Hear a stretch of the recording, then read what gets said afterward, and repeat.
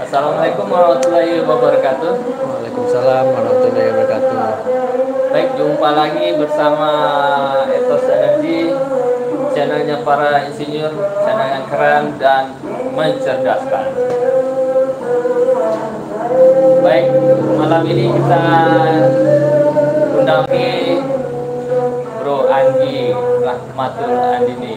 Tah lamu ndak baswo, bahasa Minangnya kayak itu ya. Tidak jauh-jauh uh, berbicara mengenai profesi Bro Andi ya di perusahaan yang sekarang bekerja di Panas Bumi mengenai operation dan maintenance. Sebenarnya topik ini sudah uh, dibahas secara teori panjang lebar kalau nggak salah dua kali pertemuan ya di channel Synergy ya. oh iya, dengan Pak Emil udah dua kali. Nah itu materinya tuh keren banget lah kan. Itu kalau kita training di luar itu mahal harganya kan. Tapi bro kasih free dan eh, itu sangat worth it banget ya buat kita semua ya. Ya terutama untuk para yang baru lulus segala macam ya. Saya emang kerasa waktu saya dulu lulus baru-baru itu fasilitas seperti yang diberikan Etos ini jarang saya dapat. Apalagi sekarang YouTube kita gampang akses. Jadi itu yang saya jadi motivasi untuk bisa sharing ke kawan-kawan. Modal yang lumayan kalau kita bisa dapat ilmunya. Karena nggak kebayang sering waktu saya lulus teori yang saya pelajari nggak relate.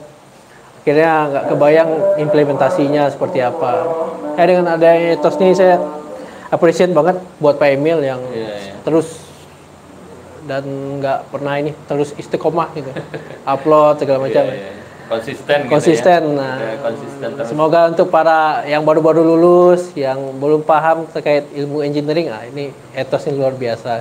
Iya, iya. Makasih bro eh, atas eh, apresiasinya ya, untuk kegiatan kita Pak Etos Energi. Mudah-mudahan eh, kita semua saling apa berbagi lah ya sehingga bermanfaat buat Amin, amin, calon-calon insinyur di Indonesia ya. amin. Dan termasuk juga yang sudah experience ya teman-teman yang experience yang mau refresh yang Oh, mau betul, belajar yang tadinya kerja di power plant di, eh, di coal fire power plant yang batu bara mau masuk geothermal Ya. nah, paling tidak ikut channel kita paling- mereka sudah bisa mengetahui sedikit banyak ngapain aja Ya bagi yang udah di geothermal pun saya rasa juga seperti itu. Kalau udah terlalu lama, kadang kita jarang di refresh, Ya. lupa juga gitu kan. benar-benar ya betul bro. Eh, panas bumi. Eh, saya pun dulu eh, panas bumi udah berapa kali proyeknya ada tiga kali ya. Iya. tapi eh, terkait dengan surface facility-nya ya. Eh, pipeline gitu ya. Kemudian turbinnya ada kondensornya cooling tower ada injection facility-nya ada pompa gitu kan ya surface facility saja tapi knowledge di subsurface-nya paling tidak kita juga tahu Betul, gitu betul. kan Eh, ini sumur ini eh, seperti apa gitu kan jadi kita eh, bisa memahami karakteristiknya kan. Sebenarnya gitu Pak Iqbal. Saya kan background juga coal fire. coal fire ya Ah, tiga tahunan lah, hampir empat tahun coal fire, baru akhirnya bisa dibilang hijrah. Dari energi kotor ya. Ke energi yang lebih bersih. Karena awalnya sih mungkin tertarik ya thermal tapi lama-lama merasa saya kayak nggak mau lagi balik ke power plant. Karena dulu sempat beberapa kali tawaran balik lagi ke coal fire tapi prinsip udah tertanam lah untuk tetap di ini. Sebenarnya kalau secara konsep proses operasi atau apa pun itu coal fire sama ini sama-sama steam power plant ya sama pembangkit yang menggunakan uap untuk menggerakkan turbinnya sama dengan PLTP ataupun PLTU. Yang membedakan tadi Pak Emil bilang subsurface-nya. Kita dapat sumur, eh, dapat steam. Kalau dari coal fire kan boiler, boiler yang udah kita bisa setting sendiri tekanan segala macamnya, kualitas steamnya seperti apa bisa kita setting lah. Hmm, iya, iya. Tapi kalau di eh, di PLTP ya steam itu ya anugerah yang udah diberikan yang maha kuasa. Nggak bisa kita apa-apain ya. Mau dapatnya karakteristik chemical mineralnya seperti ini ya udah syukuri. Ya gimana caranya kita memanfaatkan panasnya tersebut bisa jadi energi listrik. Ya, ini udah masuk ke ini ke tentang uh, panas bumi ya. pertama kali biasanya kan Bro Anggi di coal, coal fire power plant ya eh, kerja dulu dulu Iya. tiga tahun tadi terus ketika pindah ke panas bumi eh, apa yang apa yang menjadi challenge-nya gitu Eh, pertama saya anggap malah mandang sebelah mata ya. Dalam artian saya anggap sedikit anggap remeh dalam pem- pemahaman. Karena saya merasa waktu di coal fire ada tiga elemen kan. Elemen air di mana kita bisa mentreatment air, air diolah oleh sistem boiler. Boiler baru menghasilkan dari boiler sendiri itu banyak proses ada batu ba- bahan bakar, udara, baru menjadi air, menjadi steam. Baru steamnya di ke turbin dan generator. Itu suatu yang sangat kompleks. Makanya waktu saya pindah ke geothermal, panas bumi kayaknya nggak terlalu susah lah adaptasinya macam. Karena saya konsepnya ya sama lah PLTP itu ya itunya itu. paling sumurnya doang gitu. Tapi pas sudah lah, ternyata pas sudah mendalami, udah berkecimpung langsung setahun dua tahun ke tiga tahun dan sekarang baru university empat tahun kemarin. Ada like di gitu. iya iya iya. Langsung saya udah baru balas tuh karena banyak juga. Iya, iya. Jadi banyak ternyata challenge yang nggak dibilang kasat mata gitu. Nah, bukan masalahnya di turbinnya, bukan di generatornya, bukan di sistem power house lah. Tapi sistem itu Pak Imi bilang tadi sumurnya ada sumur produksi, sumur injeksi, Iya. sama separator. Nah, sum bagian dari SGS system dan subsurface-nya inilah yang jadi challenge di kita. Walaupun kita dianggap orang surface facility, Nah, tapi kita kalau nggak paham subsurface akan juga kebobolan dalam proses proses pengoperasian segala macam. Nah, dalam pemahaman inilah saya akhirnya mendalami sedikit demi sedikit, walaupun kulit kulitnya akhirnya semakin terbuka challenge yang semakin nampak. iya, iya, iya. Kadang kita mau injeksi, wah, saya agak kadang underestimate kok cuma gara-gara injeksi kurang, power kit- generation kita juga jadi kurang gitu. Kita misalkan kapasitas sumur injeksi kita awalnya 50 kg per second nampungnya. Sekarang jadi 40 kg per second. Itu bisa nurunin megawatt kita ternyata. Eh, gimana tuh? Kok bisa? Ternyata saya uniknya ini ada peraturan yang mengatur itu kita tidak boleh membuang brine atau kondensat ke lingkungan. Iya, iya betul.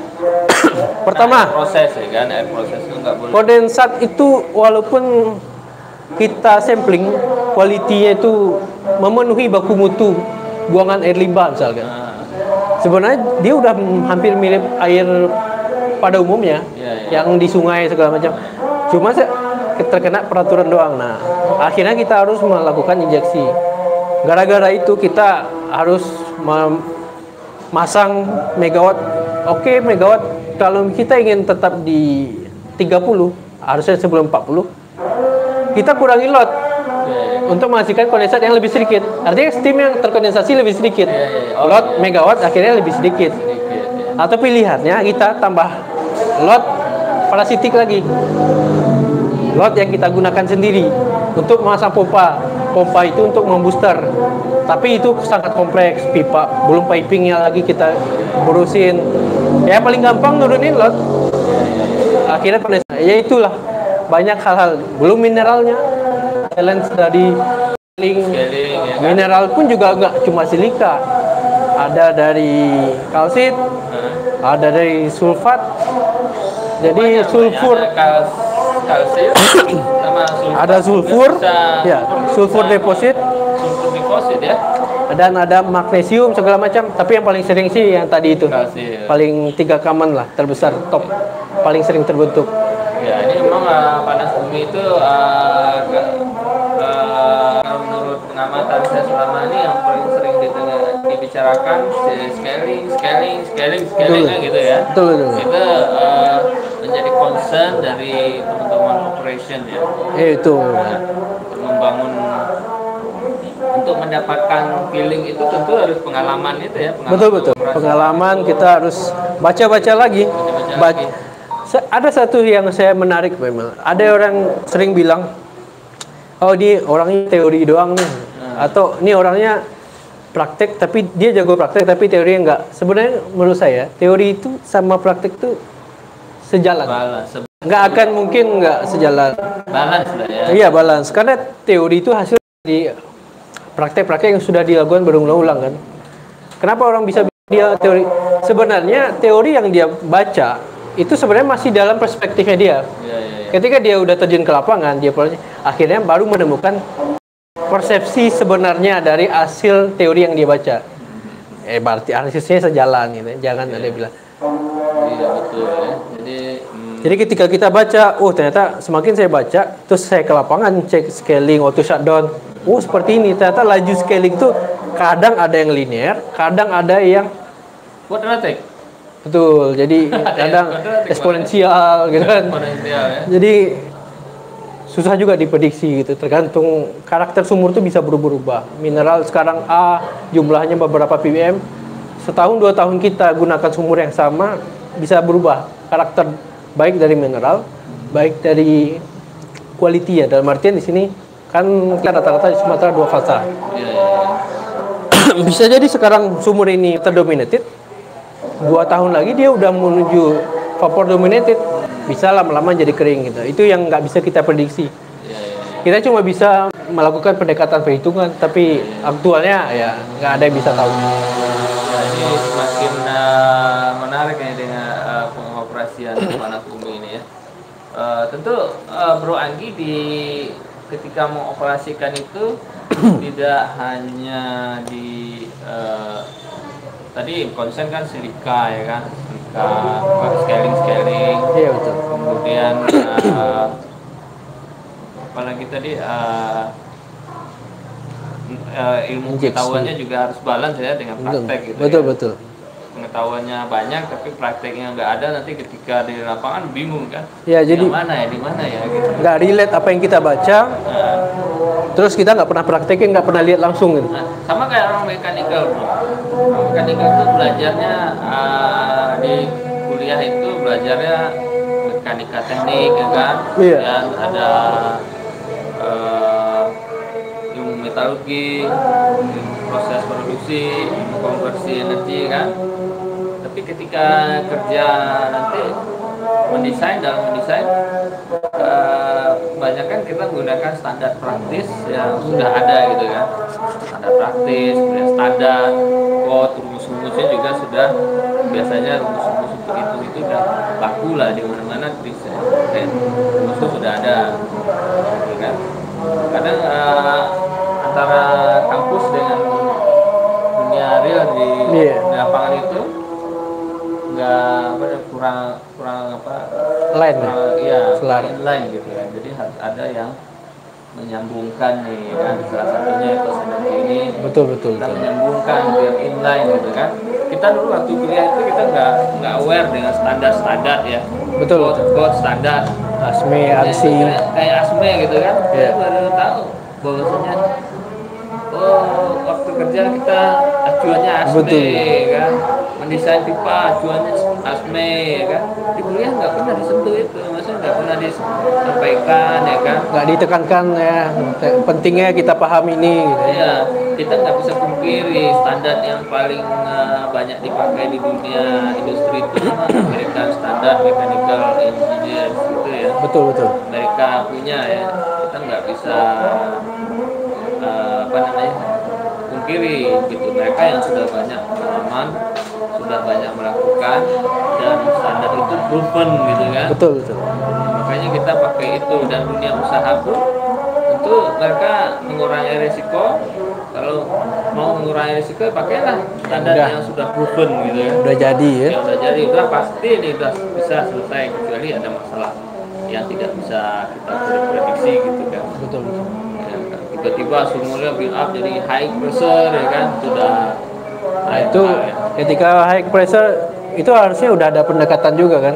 Dan misalkan eh, ketika bisa pengeboran lah apa pun itu, ketika ada BOP blowout preventer segala macam, itu kan pasti udah dilakukan pendekatan. Berapa sih rating BOP yang dipakai, kelas BOP-nya segala macam. Itu kan ada standarnya, Ya. acuannya. Temperatur segini, tekanan segini, oh dia bisa menahan segini. Ya, rating flank connection itu udah ada kan. Jadi Betul, betul. Misalnya untuk pressure eh, maksimum di 200 psi Ya. eh, temperatur ruangan itu bisa connectionnya bisa 150 pound gitu ya. Betul, betul. Kalau dia pressure-nya lebih tinggi atau temperaturnya lebih tinggi 200 psi bisa 200 derajat celcius kita nggak bisa eh, pakai yang eh, sambungan 150 pound lagi gitu ya. Length connectionnya ya. kita harus naikkan ke tinggi 300 pound gitu. Jadi kalau teman-teman lower Ethos energy di mana pun berada kalau belum mengerti apa yang saya maksud plank connection nah, silakan nanti di searching di Google ya apa itu plank connection. Sebab, sebab kalau teman-teman mau jadi mechanical engineers atau piping engineers harus paham dengan eh, gimana menyambung sambungan ya sambungan connection antara pipa ke pipa atau eh, ke, dari pipa ke equipment gitu ya kita pakai standarnya eh, American standard gitu ya Kadang hal-hal itu yang nggak pernah ditekankan di kampus ya, Pak Iqbal ya. ya Padahal itu sangat applicable di dunia industri, di dunia kerja gitu. kan. Ya kalau di sisi mekanikal ya, kalau di kita berbicara mengenai sambungan itu plank connection itu uh, sudah ada bautnya juga, bautnya udah ukurannya udah standar. Kalau plank connection kelas 300 itu biasanya uh, pakai baut 78 inch, panjang uh, misalnya 150 met- milimeter misalnya kan. Iya. Dan torsinya, torsinya sudah di Betul, juga di standar. Kalau misalnya Maksimumnya kurang berapa torsi, minimum. bocor dia kan Betul, betul. hal-hal kayak gitu ya jadi kalau engineersnya tidak uh, mengetahui itu itu uh, bisa terjadi kecelakaan kerja kan misalnya ketika menyambung plank bautnya sudah dipasang tidak dikencangkan sesuai dengan standar Bersih, ya. uh, uh, itu bisa kecelakaan kerja ya Betul, Nah, betul. kita kita baca beberapa berita itu kan eh, ada beberapa terjadi kebocoran di sambungan artinya eh, saya bisa mengasumsikan apa meng, eh, meng- mengasumsi lah ya Dia rasain. bahwasanya eh, sam- terjadi kebocoran pada sambungan itu akibat eh, sambungannya itu tidak dilakukan secara benar sesuai standar gitu kan. Harusnya kalau sudah torsi sesuai dengan standar dia nggak bakalan bocor gitu ya. Nah itu yang masih banyak juga, tapi di dunia kerja pun kalau di beberapa hal masih tidak sesuai standar juga banyak. Ya, main pukul-pukul aja. Boleh pukul-pukul sekencang, ya rasa-rasain lah, ya kan? Kalau ototnya besar gitu kan, ya kencang. Tapi kalau Relatif kecil, jadinya, Nah. per tenaga orang, sebagai tenaga orang. tenaga nasi. Nah itu orang Indonesia yang apa, yang masih habit itu yang Betul. masih banyak ya Eh, melakukan sesuatu sesuai perasaan ya padahal barang ini harus terukur ya karena ini menyangkut keselamatan kerja gitu kan keselamatan kerja baik eh, terhadap orang atau lingkungan ya Betul. lingkungan tuh kayak eh, kita baca berita beberapa Oh, hari iya. lalu bocor kena gas Betul. eh, ke masyarakat yang pingsan atau Blow out. bisa fatality itu itu kan sangat eh, ini sekali ya sangat kerja yang sangat ceroboh gitu kan ceroboh Nah, padahal itu bisa dihindari gitu. Banyak perhitungan yang harus kita lakukan dulu segala macam. Ya bro di di di operation salah satu tantangannya tadi eh, ya beberapa ada disebutkan ada lagi yang apa yang menjadi Eh, ini jadi yang membuat teman-teman kalau dari sisi subsurface itu ya, Nah. tadi itu ada chemical segala macam. Pertama ya kita pembagi listrik. eh, PLTP itu tetap pembagi listrik. Sama lah, ada trafo, ada switcher, ada CB, eh, ada yang pakai eh, apa? Pemutus busur apinya itu pakai gas kan? Oh iya yang ini ya percikan SF apinya itu betul, di betul. isolasi pakai Betul. Apa SF, namanya ya. SF6 SF6. macam-macam ada yang pakai gas lain juga banyak. Walaupun bro yang ini backgroundnya kimia, kalau kita ada bekerja di suatu power plant itu kita harus mengetahui semua ya. Kompleks. Kompleks Jadi ya. Nggak nggak kimianya. hulu ke aja. hilir, hilirnya ini yang udah jadi li- listrik, nah itu harus paham gitu. Ya, tapi teman-teman harus punya core-nya dulu. Core-nya di mana nih? Ya kan misalnya kornya di bidang kimia ya kuasai kimianya dulu masuk sebagai chemical engineer atau proses engineer. Nah, nanti nextnya baru kalau udah menguasai itu nanti bisa harus mengetahui semua. Kalau di PLTP, mekanikalnya juga. PLTP itu karena Ya kan? skopnya dan yang di generate juga nggak besar ya, dia harus menguasain semua. ya, ya. Kecuali kayak PLTU yang udah ratusan-ratusan megawatt itu ribuan megawatt, oh tuh itu ya water treatment orangnya sendiri, turbin sendiri, electrical sendiri, boiler sendiri, call handling sendiri Kalau handling sendiri. Nah, kalau kita ke- kecil 85 megawatt misalkan di tempat saya kan. Mereka tuh ya harus paham semua ujung ke ujung. iya iya iya iya. Lama-lama harus paham semua. Apalagi orang operasi harus paham semua. Walaupun nggak detail ya, tapi dia basic-basicnya dia pengambilan keputusan operasi itu harus dasarnya semuanya. Iya. Nggak cuma dasarin dari subsurface, tapi dia harus lihat juga ke PLN. Iya. Kita ngirim segini udah ada kontrak kan dengan PLN ngurangin sedikit karena cuma prioritas ke subsurface. Nah, itu harus dirundingkan dulu. Jangan harus panjang pikir orang operasi ini dulu semua memutuskan. Jadi tadi Pak Emil, karena rata-rata kita tuh di high terrain ya, PLTP kita tuh. High terrain ini maksudnya dataran tinggi Dataran tinggi. di Indonesia. Beda kalau New Zealand tuh sama di Iceland gitu. Itu mereka rata-rata dataran rendah. Mereka ya Rata-rata dataran rendah. Sumber-sumber geothermalnya bisa jadi lebih murah kan? Lebih murah karena akses makanya kita nih untuk challenge-nya itu banyak masalah akses. Kadang kita bikin jembatan baru perkuatan perkuatan kan. Kan Pak Imam ngerasain sendiri dulu. Lakukan bikin jembatan baru bikin jalan baru pelebaran jalan. Nah, itu itu challenge yang ada di Indonesia Filipina itu hampir sama.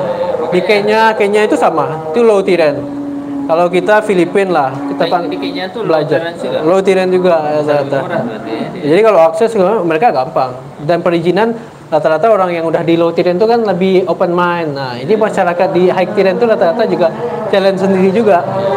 Itulah, itu challenge juga ketika kita mau awal buka segala macam. Itu untuk misalkan separator dulu email uh, paham juga kalau kita desain secara engineering proses engineer desain separator untuk atau mechanical engineer oh dia jadi 4, uh, 40 meter gitu. Ternyata waktu kita bawa ke site kayaknya nggak mungkin ke 40 meter. Bagi dua deh gitu. Atau trafo juga gitu kan. Trafo ya. Awalnya satu trafo bisa ternyata ketika dibawa ke site nggak memungkinkan akhirnya diparu gitu bagi dua.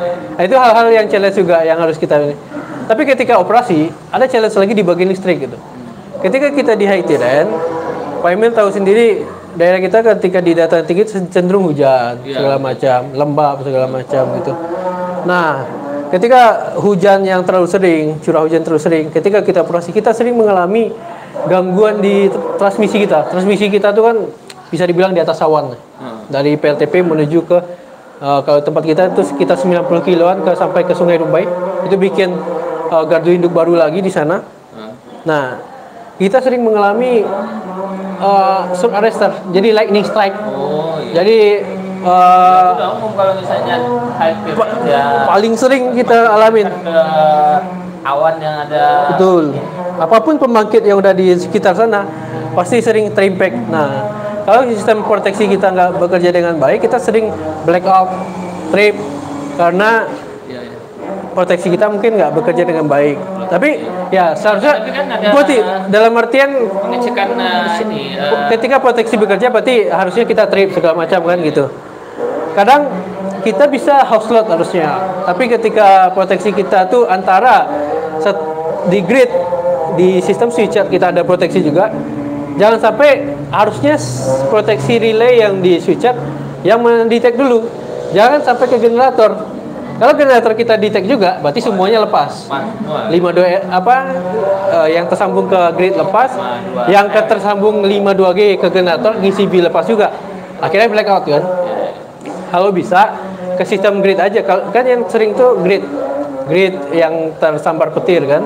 Nah, yang harusnya bekerja 52R aja lepas, nggak usah ke kita juga. jadi ya masih bisa house load ya Nah, komunikasinya itu. Bisa masih tetap mutar gitu Betul, kan. betul. kalau masih eh, kita, Kita house load, nanti tinggal kontak PLN. Pak, udah aman? Jaringannya segala macam? Oh, udah. Ya udah kita sinkron lagi ya. Lebih cepat. Kalau kita udah breakout, wow itu mulai dari nol lagi. Kalau sekarang sinkron itu auto ya. nah, wah betul.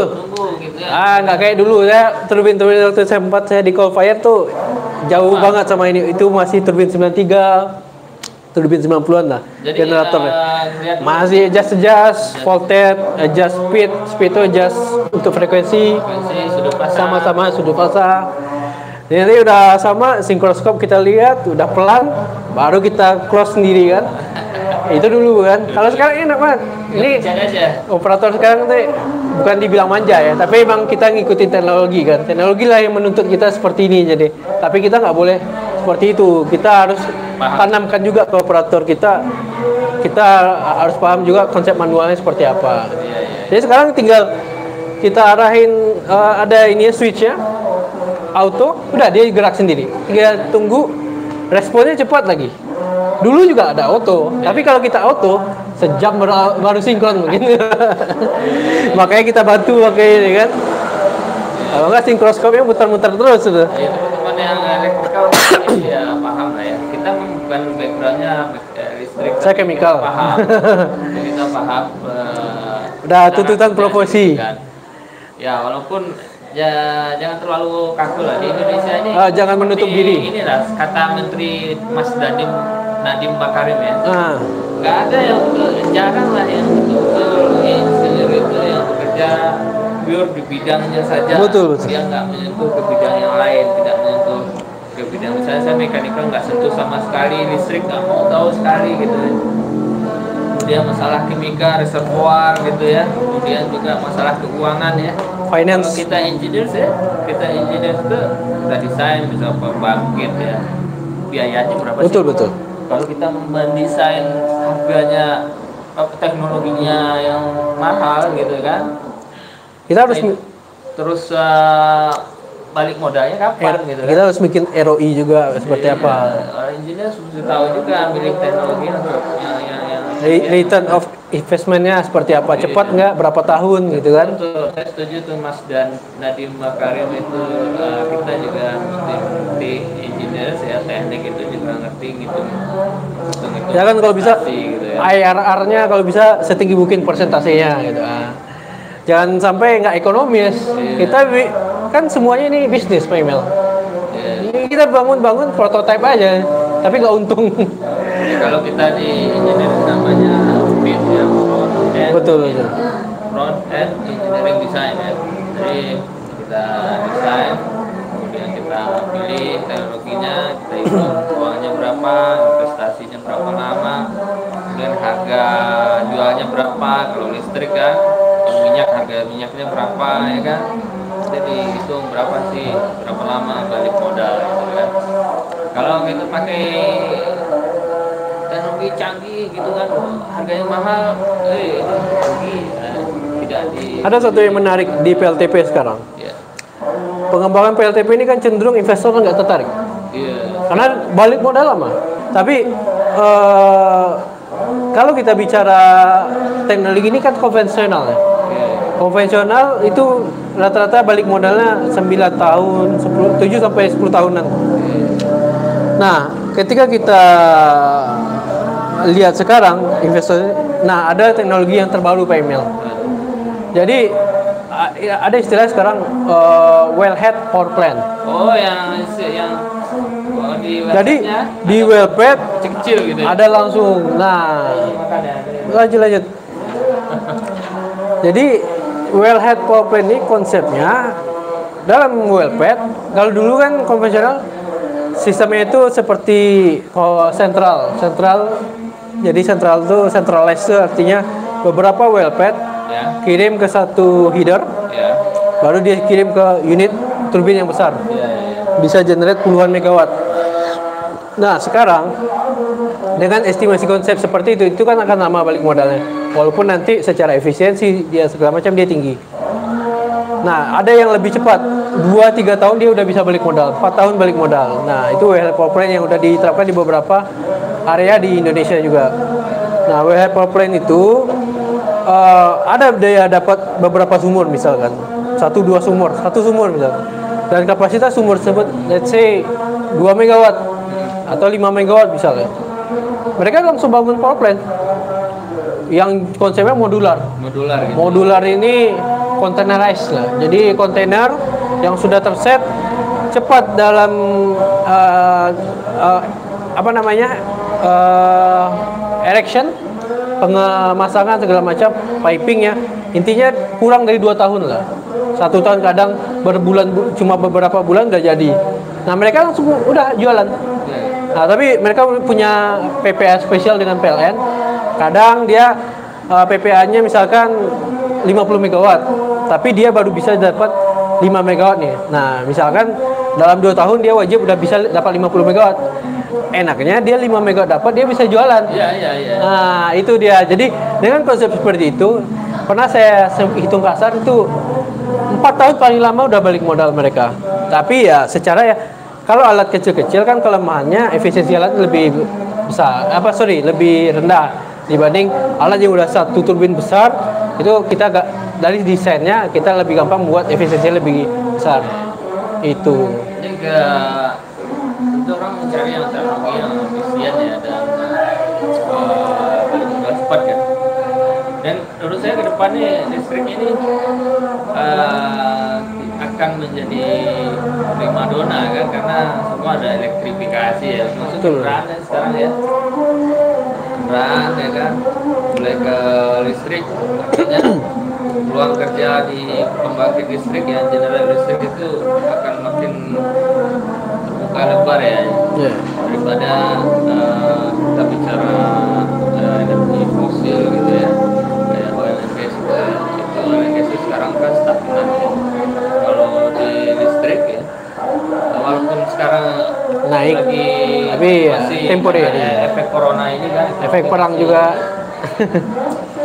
misalnya sekarang eh, kita menggunakan mobil bis, eh, bensin ya ke depan kita udah nggak mau lagi pakai bensin karena boros ya efisiensi cuma 40% kalau Betul, betul, betul.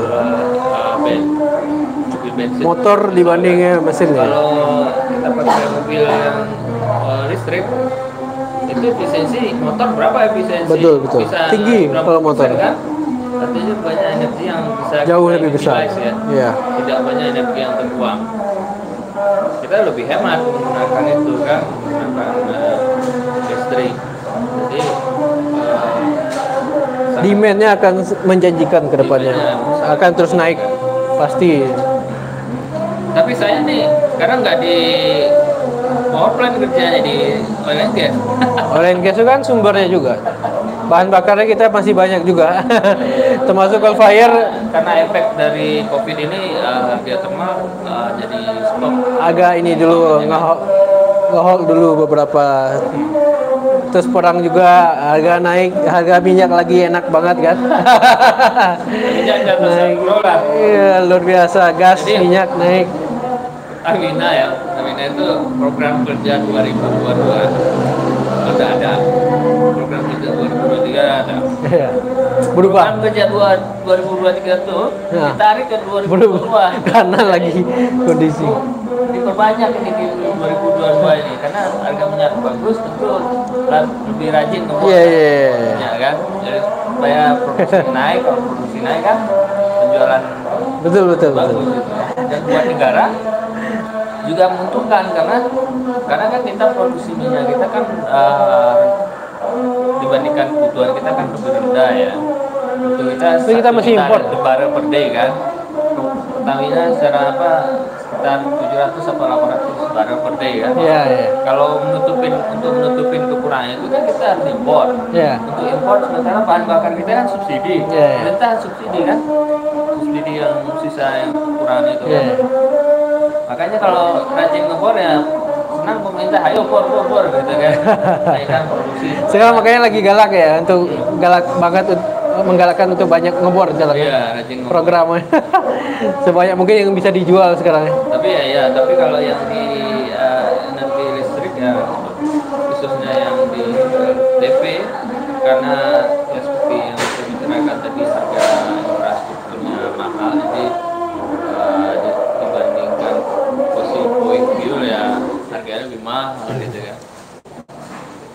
sampai apa namanya menguras keuangan pemerintah.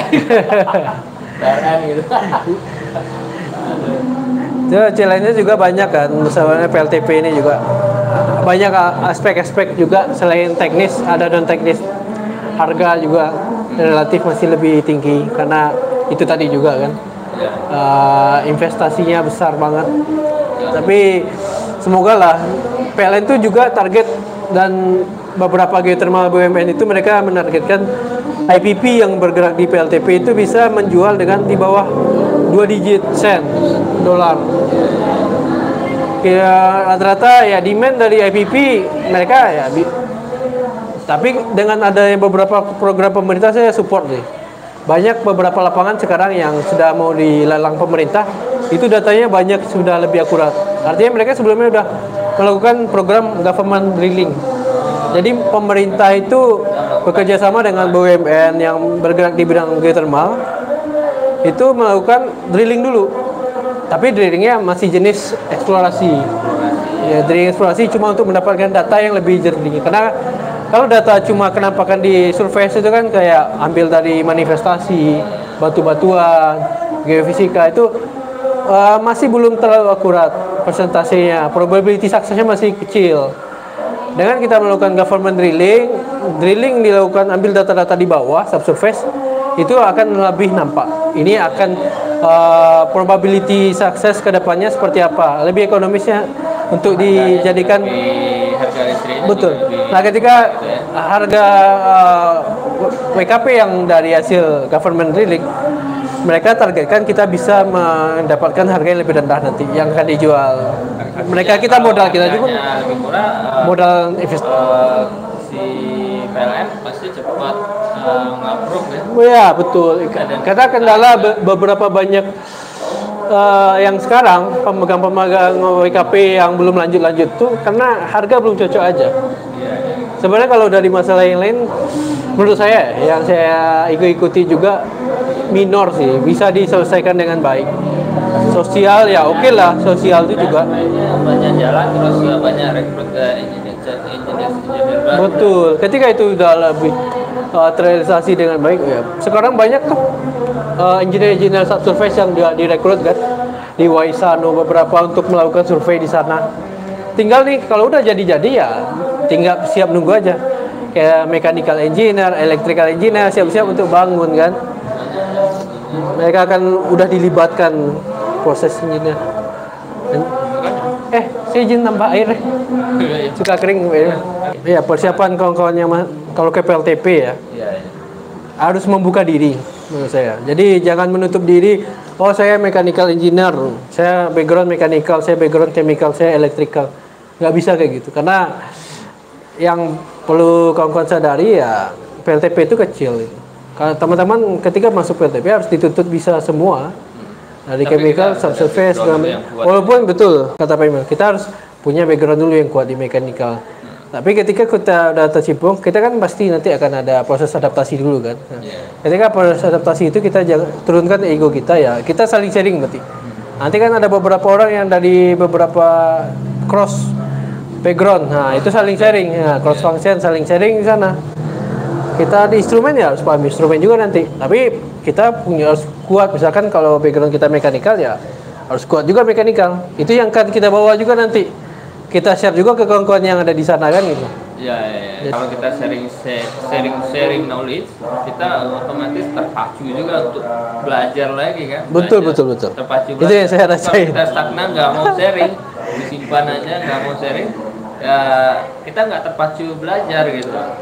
Betul banget Pak Emil. Jadi kalau bocoran nih, ketika saya mau sharing, mau secara resmi, walaupun uh, non resmi ya, informal saya sering juga sharing dengan kawan-kawan kan. Nah, Saya nggak mau bawa nol, Iya. harus saya apa baca-baca dulu. Kadang ada yang udah saya pahami, tapi harus saya pertajam lagi gitu, dengan referensi, dengan sharing lagi dengan orang yang lebih paham kan. Dan saya juga harus punya target. Ketika saya sharing ini harus ada juga sesuatu yang saya dapat juga nanti. Orang ini juga memberikan sesuatu yang saya. Walaupun apa pun itu, sekecil apa pun. Itu sih harus jadi prinsip juga buat siapa pun menurut saya. kan banyak media belajarnya online dari Wah, expert. sekarang ya. expertnya banyak lah ya Sekarang enak banget lah, nggak kayak Kayak beberapa tahun yang lalu. Ya belum segalak YouTube inilah ya, yang saya rasain YouTube inilah. Dulu mungkin banyak referensi dari eh, pembacaannya, tapi kan mungkin karena iterasi kita nih Indonesia masih rendah ya. Lebih senang tuh kan lihat visualisasi kita lebih terpacu kan, ingin eh, nggak terlalu bosan. Kalau baca bla bla bla bla dikit udah ngantuk, udah males ya. Dulu kan udah banyak juga sebenarnya baca bacaan. Tapi dengan ada YouTube ini eh, sebenarnya menambah kawan-kawan juga untuk lebih ingin webinar tuh banyak banget yang pengen ikut. ya. Walaupun nggak sempat ikut, recordnya masih ada. Kayak itu sih. beberapa dulu yang udah ditampilkan live walaupun mungkin kalau live itu keunggulannya kita bisa tanya langsung diskusi langsung apa yang emang kita jadi concern kan? Iya, iya. tapi kalau nggak ada kita lewat materi kita dapat dari recordnya yang tetap diupload. Kayak terus nggak pelit. Diupload semua. Upload semua. Nggak ada yang dibatas-batasi. Ya ilmu itu untuk semua. Iya. Luar biasa. Semua ya. Kita ini semua kita fasilitasi semua kan? Justru tinggal pilih. Dari expert-expert lah semua bidang. Dari sipil dari mekanikal semua. Eh, mau mana nih tinggal pilih? All, all record yang dari ini tinggal dipilih. Electrical ada ya kan?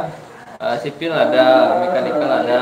Panas bumi banyak ya kan Kayak jangan- and gas juga ada ya kan? Jadi tinggal diikutin aja ditonton dari awal sampai akhir supaya agak gagal paham ya dengan topik yang kita sajikan gitu. kalau nontonnya separuh-separuh ya kadang nggak integrated gitu. Betul betul. Ya, jadi nonton sampai awal sampai eh, Kadang- akhir.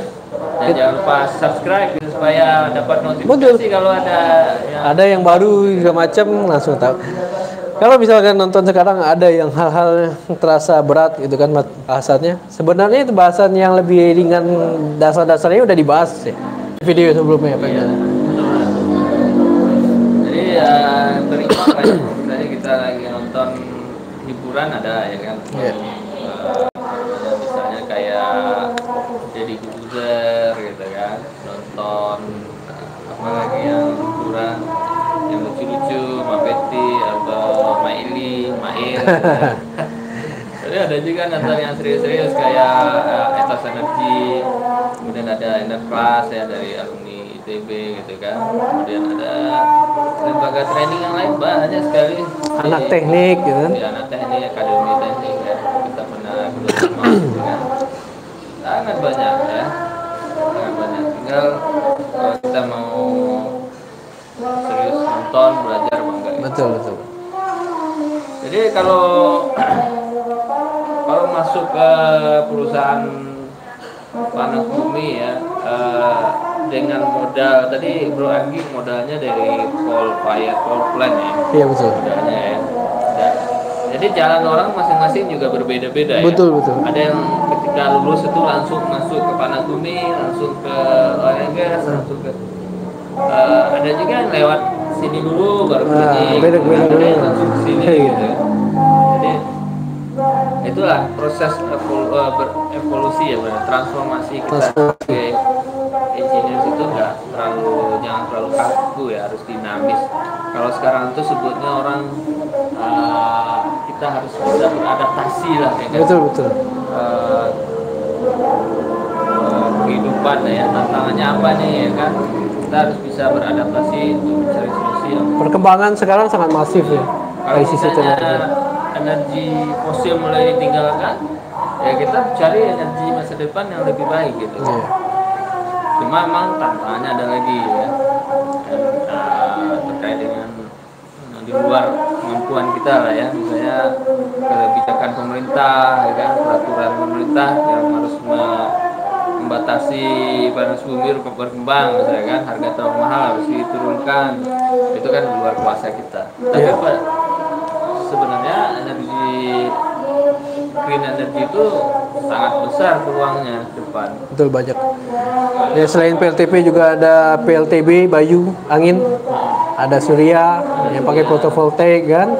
Sekarang udah banyak juga marak kan di beberapa tempat di Jawa di Bali saya lihat yang udah jualan ke PLN ada peraturan sendiri Kalau dari PLN Ada terkoneksi sama grid PLN ya. Betul, grid eh, 400 volt mungkin ya. Jadi 200 volt yang dibagi dari 400 volt tersebut dia eh, malam kan eh, ini ada storage-nya. Iya. Nah, siang dia ju- jualan ke PLN, malam dia pakai ide sendiri. Akhirnya dia bisa zero beli listrik sama sekali gitu. Karena dia udah pakai photovoltaik Fotovoltaik. solar kan. Panel dia pasang solar panel segala macam. Banyak sekarang ke perkembangan ke sana. Mobil-mobil listrik banyak sekarang. Motor listrik lah enggak ya. Motor listrik Terjangkau sama kita kan. betul betul. Kalau Kayaknya masih eh, ada merek apa namanya sekarang Hyundai Ioniq itu kan. ah itu mobil. 500 Ya, itu murah tuh. jutaan ya. Ada yang Ko- Kona, Kona ya. Kona elektrik itu yang Hyundai Kalau yang lebih mahal Tesla. ya. Tesla itu masih di atas 1 M. Tapi kalau Indonesia nggak tahu dulu pernah kawan kita Bro eh, Ricky Elson Oh, iya. itu ya mobil listrik tapi ya Supportnya mungkin masih belum masih Ya. belum eh, siap maksimal. pemerintah kita Ya. untuk mengembangkan mobil listrik yang kita bisa Mungkin ya gitu kan. pemikiran waktu itu belum terbayang kalau sekarang semasif ini ternyata perkembangan mobil listrik kan. ya sekarang eh, populasi ya kita kan eh, mobil bahan bakar Iya, fosil semua. Kalau misalnya kita udah pakai listrik ya enak ya ya malam kita istirahat colok aja besok pagi udah penuh kan Betul, betul. Listriknya juga murah lagi kan Iya. listrik ke satu kWh berapa seribu taruh lah 1600, lah ya. 1600, 1700. 1500 kau- per kWh kan Iya. satu kWh bisa berapa kilometer nah, ya kan kita bandingkan dengan satu liter eh, berapa Betul betul, jauh lebih. Saya pernah dengar tuh satu kWh itu bisa 20 eh, berapa kilometer gitu. Bandingkan jauh sama misalnya lebih sedikit aja satu kWh misalnya dapat 5 kilo misalkan 5 kilometer 1500 kok kalau satu liter berapa Sekarang Harga- 12.000. sekarang 12.000 Pakai pertama apa pakai pertalite Pak Emil? Sekarang masuk tak pertalite dong murah Eh, pertalite itu katanya nggak terlalu bagus untuk mesin. bagus tapi eh, Rasa nggak enak. tarik aja nggak enak Tarikannya nggak enak. Cepat. Ya, mahal 12.000 hampir dua kali bedanya bro. Saya masih setia soalnya. Pakai pertama walaupun mahal.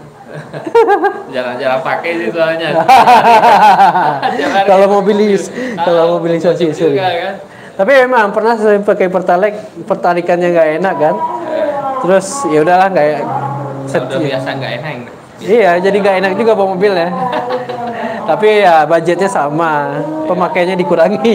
kalau misalnya pakai sekali satu kali sebulan ya nggak apa-apa lah kalau tiap pakai tiap hari ya wajib juga gitu ya Iya iya iya. tapi entar lagi pertalite juga mau di Naikin lagi ya. subsidinya juga Oh ini masih subsidi ya itu ya. subsidi. 3 kilo juga naik ya. Ya, Oke lah. Tapi kalau misalnya bisa kita berpindah, bertransformasi menjadi listrik, listrik kan cuma murah ya. Kalau taruhlah sepuluh ribu, sepuluh ribu eh, harga, maksud saya harga listriknya dua ribu aja kan, Iya, iya. masih lebih murah listrik kan. Betul, betul. Kalau kita compare dengan mobil listrik ya. Iya. Tapi kalau pemakaian ini ya mungkin susah juga compare-nya kayak yang lain. Mungkin susah ya. kalau kita compare ke jarak pemakaian mobil yang listrik dengan ini ya betul jauh. Pemakaian jangka panjang emang mobil listrik itu luar biasa. Cuma sekarang kita kan eh, infrastruktur untuk ngecasnya Iya itu yang harus di ini saya saya SPBU-nya lah ya. Ya, SPBU-nya kan kalau di jalan kan panjang 10 perjalanan jauh ngecasnya gimana? Kalau udah ke kampung-kampung kita mudik ini susah. Iya. Kalau ke kota masih ini enak lah, masih udah di Jakarta. Iya, iya. Kita ngobrol ke mana-mana jadinya. Betul betul, tapi emang luar Tapi biasa. emang masih berhubungan ya. Berhubungan karena listrik, itu mobil listrik makin ini ya makin PLTP makin kebutuhannya makin ya, makin masif juga nanti. Iya. Pelan tapi pasti. Artinya kebutuhan tenaga kerja engineer untuk memproduce listrik makin banyak ya kan. Iya. Tentu orang elektro juga sangat sangat berperan. Elektro, Tapi betul. Untuk eh, me- mesin, kimia, eh, jurusan eh, pertambangan panas bumi ya kan, Iya. terus eh, jurusan sipil, ya, jurusan ya semua lah sangat banyak dibutuhkan di Hmm. Hampir semuanya sekarang. Ya Kalau Pas bumi semuanya diterima kok. Cuma kuota masing-masingnya itu yang ini kan. Mekanikal ya masih prima dona untuk ditarik. kan dia bisa ke mana-mana dia. Ya, elektrikal. Tapi yang menarik sekarang ya, saya nggak tahu. Saya lihat trennya sekarang yang buka-buka lowongan untuk ONM-nya panas bumi itu udah mulai banyak meminta chemical juga. Nggak tahu sejak beberapa tahun terakhir saya lihat. Star kemarin buka kan, contoh.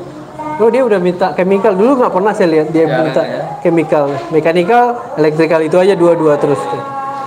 Alhamdulillah berarti jurusan saya udah mulai dilirik berarti. Atau mungkin sejak Pak Emil undang saya kan. ya ya ya semoga rezeki makin banyak berbagi makin banyak rezeki lah ya kan? Nah betul betul betul. makin sering berbagi makin banyak rezeki. Itu sesuai dengan uh, Kodrat ya. uh, hadis Nabi juga kan? Makin banyak berbagi makin sampai ya. Tapi ada hadis Nabi gitu makin sering kita berbagi bersilaturahmi makin banyak rezeki Saya sejak di PLTP ini juga paham semua listrik secara kompleks. Karena kalau waktu dulu saya di coal fire, saya spesial karena kan dulu saya 600 megawatt. Lebih ke fokus ke mungkin lebih ke mekanikalnya aja banyak. Karena turbin, deaerator, eh, pompa-pompa segala macam. Jarang belum ke elektro banget, tapi saya pahami juga. Setelah di ini karena emang tuntutannya seperti itu ya harus kita adaptasi. Oke, paham juga. Oh, ternyata generator ini nggak cuma di dalamnya ada generator doang gitu. tapi ya, Ada proses di dalamnya. operator tuh bukan hanya duduk-duduk liatin monitor aja ya. Ah, ternyata kompleks PML di dalamnya. Dia harus paham. Sebenarnya secara normal operasi dia terlihat santai gitu kan. Tapi ketika yang challenge-nya itu operator adalah men-sensing dari gejala yang paling rendahnya itu sebisa mungkin. Jangan sampai udah dapat besar gitu. Ketika dia udah tahu gejala, kan ada namanya first level maintenance. Operator itulah jadi first level maintenance dia kan monitor terus ya sensing kita pakai probe ini probe itu. Nah, kita operator ini probe awalnya lah initial probing sensor untuk mengetahui gejala-gejala di pembangkit. Dia monitor kan, jalan-jalan jalan. Wah, setahun jadi operator dua tahun, telinganya itu udah bisa bedain. oh iya iya Kita pakai vibrasi kan, alat pengukur vibrasi. gitu. Dia dia kalau udah puluh baru tahun-tahun kerja jadi operator, dia udah bilang, oh ini kayaknya nggak normal. Ternyata terbukti ketika kita gitu. Oh lagi ini, oh nampak dari dia udah semakin dicokokin dengan lapangan bertahun-tahun, semakin nampak fungsi operator tuh sama kayak dokter berarti ya Betul, Dokter betul. itu kadang dia ke, pasien yang belum masuk aja. Dia bisa lihat. Orang ini sakit oh, iya. Nanti dia sama dari wajahnya dia lihat. Kulit dari bau kan penciuman Terakhir- caranya ya kan. Dokter tuh yang senior yang pengalaman banget. Udah peng- pengalaman ya. sama juga kita nih engineer yang kerja di power plant kan ya karena normal tuh yang normal tuh bunyinya begini loh kalau bunyinya agak asing lah itu berarti ada something wrong nih kan Walaupun secara engineering nih di luar operasi kan ada engineering departemen kan. Dia kan nggak bisa nerima secara itu. Dia butuh data yang Iya. real. Ya benar-benar. Tapi pembuktian dari engineering benar-benar merepresentasikan apa yang udah disampaikan sebelumnya kan. Iya, iya, iya. Oh ini benar ah, normal. untuk Verifikasi betul. Nah itu yang operator yang diandalkan, yang dibutuhkan seperti itu.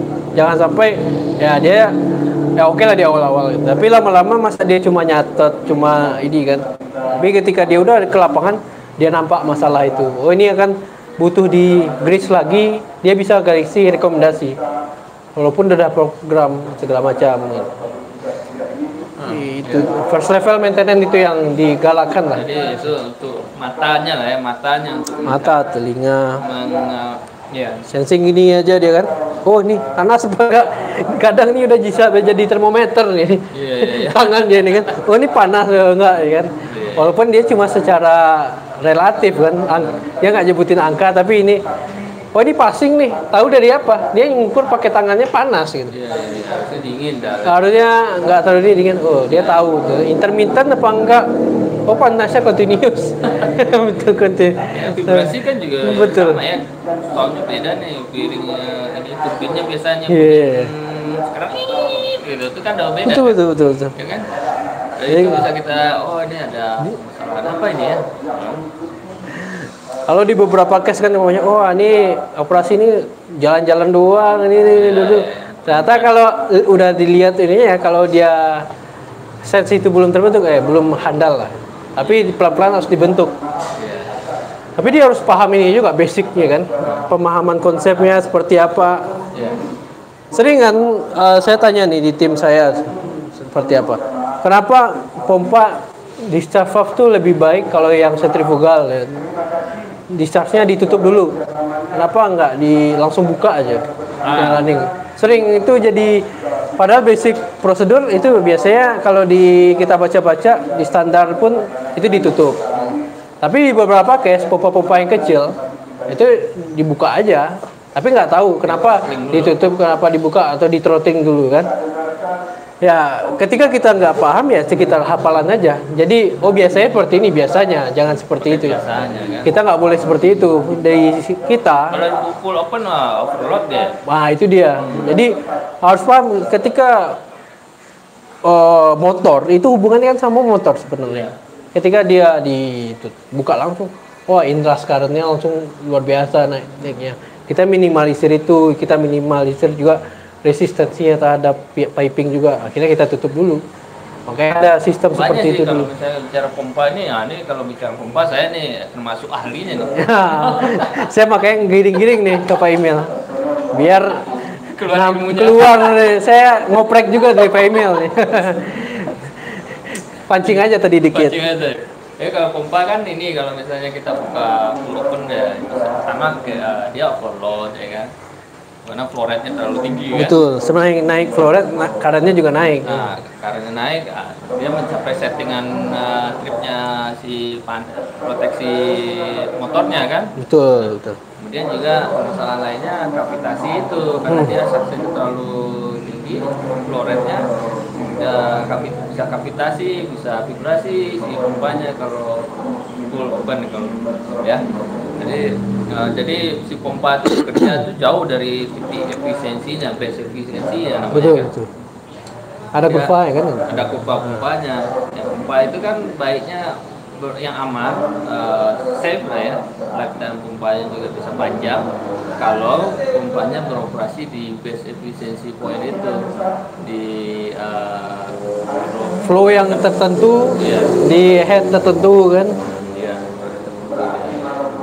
Jadi baiknya emang di throttling gitu ya. Ketika di start pompa itu di throttling di diupayakan pressure-nya itu di efficiency waktu start itu Iya, iya, iya. nanti baru di pelan-pelan dibuka jika di discharge-nya sudah pressurized gitu ya. Hmm, atau kalau pompanya lebih kompleks lagi ada minimum flow namanya kan betul, betul, betul. jadi eh, start eh, waktu start pertama itu discharge valve-nya ditutup sementara minimum flow-nya dibuka Nah, itu yang membuat dia menjadi mencapai base Iya, efficiency-nya.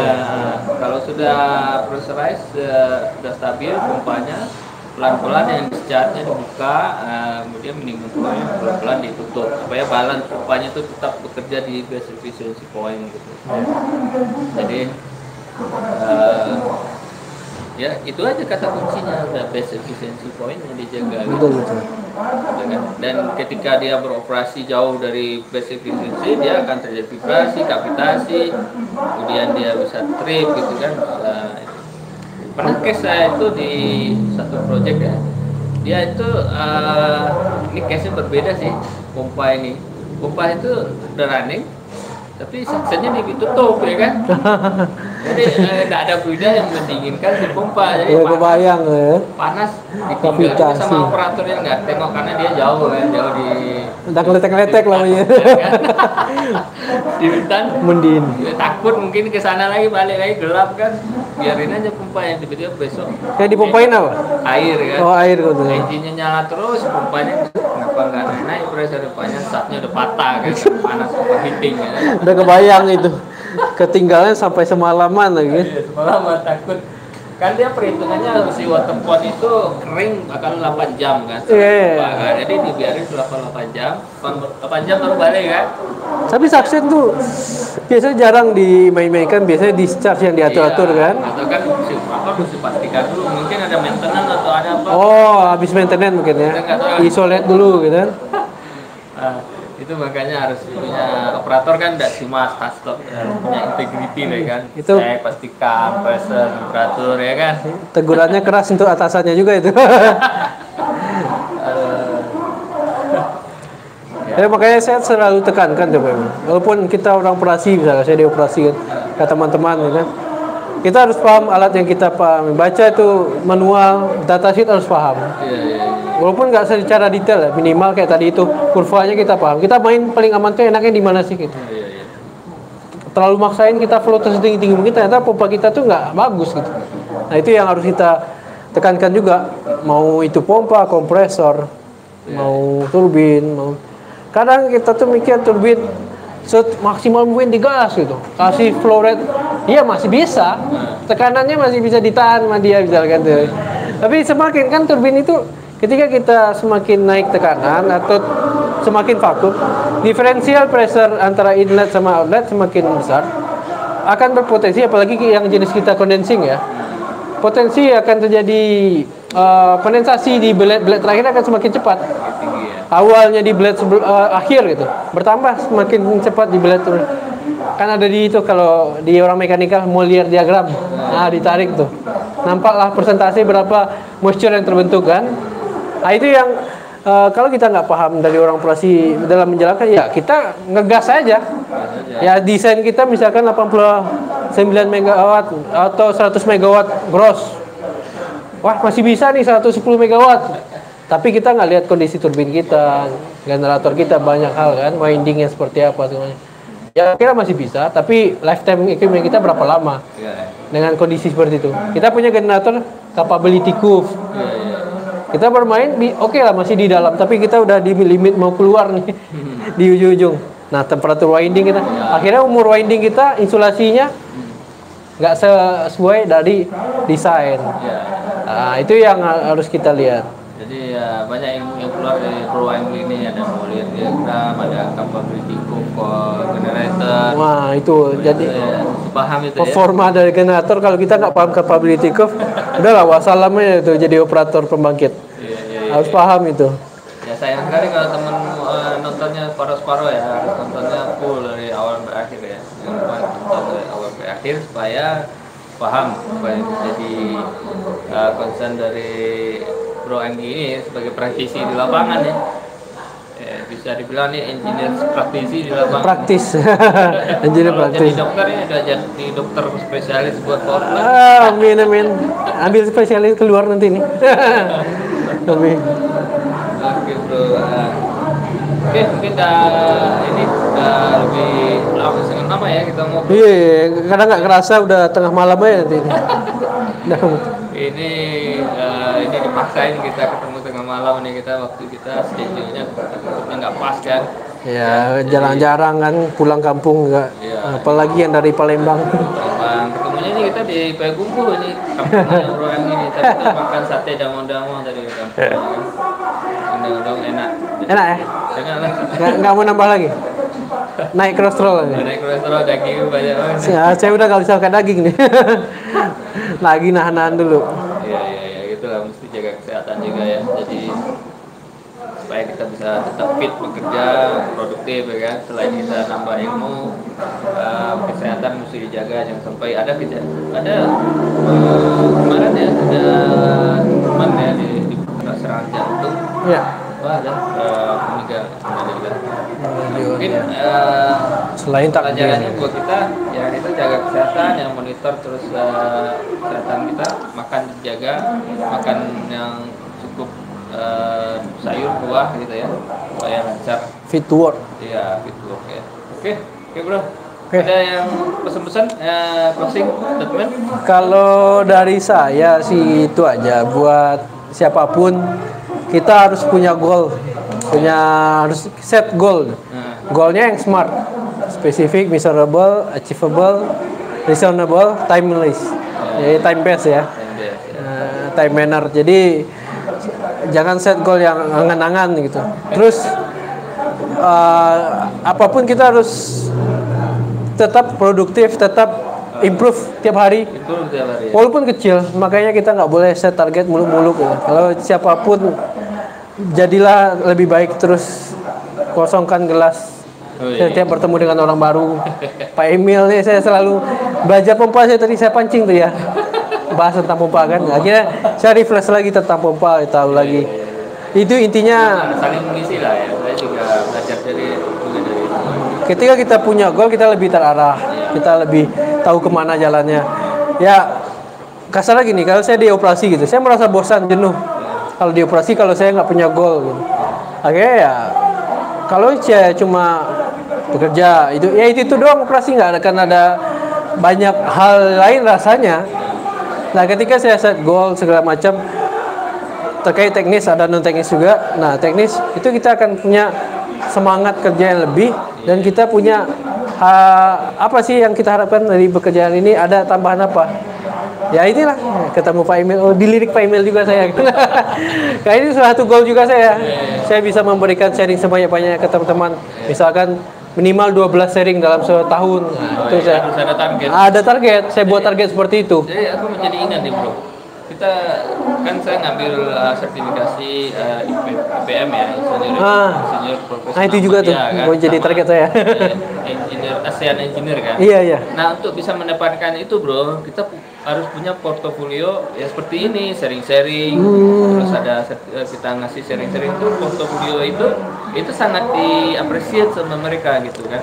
Cepat kita bisa dapat eh, sertifikasi IPN, FSNN gitu kita lakukan. Dengan Dia siap-siap. kan butuh evidence. Nah nanti Oh, ya, bisa disatukan link YouTube-nya, Hmm. link apanya, eh, sertifikatnya kalau ada kan. Kalau nggak ada sertifikat pun link YouTube-nya bisa di saya nanti. Di- Tapi next bisa share itu loh Pak Emil. Gimana caranya bisa sampai dapat ASEAN Engineer? Oh iya. Terus gimana bisa dapat IPM Oh iya sertifikat? boleh boleh. Bisa satu konten sendiri kan? Saya juga pengen nonton tuh. Saya selalu nonton. Ada Pak Herman kan, oh, saya langsung kan muncul notif tuh. Wah, langsung lihat. Siap siap. Nih Itu bisa di-share. nanti saya share lah untuk eh, Kok- bisa dari tahapannya gimana sih gitu? ya, ya. Sampai akhirnya dapat gitu. Allah ya nanti ya. Share lah cara mendapatkan. Soalnya saya mau daftar juga. Oke, bro, eh, makasih sharingnya malam ini diskusi Siap, kita siap. sangat eh, panas sih, sangat menarik. Produktif lah malam ini ya. Produktif ya, eh, mudah-mudahan bermanfaat buat eh, teman-teman yang nonton dan juga buat kita berdua bermanfaat. Dan jangan lupa subscribe channel kita itu Sinergi, channelnya para insinyur dan eh, channel yang keren ya dan mencerdaskan. Assalamualaikum warahmatullahi wabarakatuh. Waalaikumsalam.